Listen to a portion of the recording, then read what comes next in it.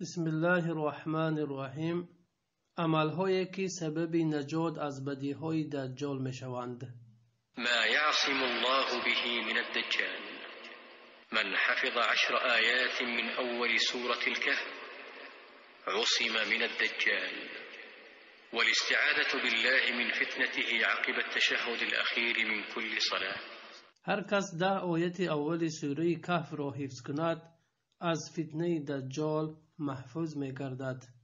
ва ҳамчунин паноҳ бурдан ба аллоҳ субҳанаҳу ватаоло аз фитнаҳои даҷҷол дар ташаҳҳуди ахир дар намоз. Сабаби ҳифз шудани ӯ аз бадии даҷҷол мешавад.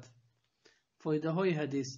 Фоидаи аввал ҳар касе ки даҳ ояти аввали сураи кафро бихонад аллоҳ субҳанаҳу ватаоло ӯро ба фазли худ аз шарри даҷҷол наҷот хоҳад дод фоидаи дуввум даъват ба хондани китоби оллоҳ ва амал ба он дар суннати саҳеҳ ба хотири он аст ки ин ду роҳи наҷот аз фитнаҳо дар дуньё ва охират мебошанд.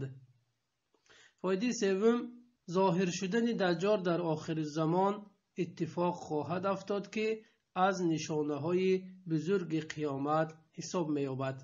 Фоидаи чаҳорум тиловати даҳ ояти аввали сураи каф ва тадаббур кардан ба он ва амал ба мафоҳими онҳо ҷузъе аз сабабҳои наҷот аз фитнаҳо мебошад.